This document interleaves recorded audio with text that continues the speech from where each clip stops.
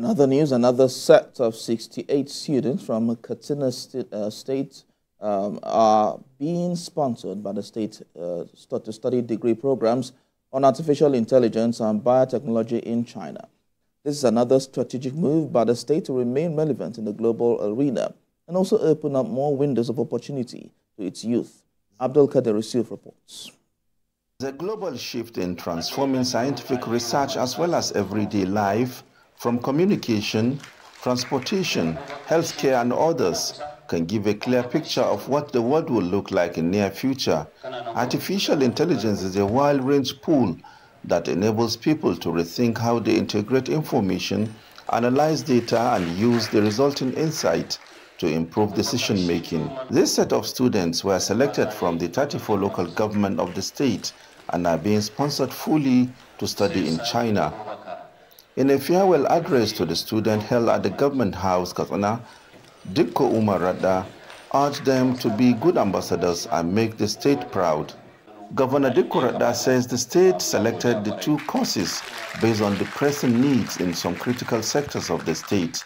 The scholarship package includes payment of their tuition fees, accommodations, health insurance, monthly upkeep, and book allowances apart from the traveling documents selected those courses based on present manpower need in some critical sector of the state.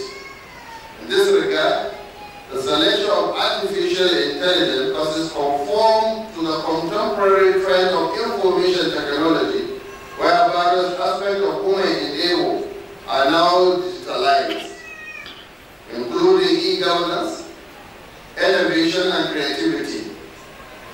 Therefore, artificial intelligence students on completion of the course will generally provide the needed manpower to the state government for the betterment of the lives of the citizenry.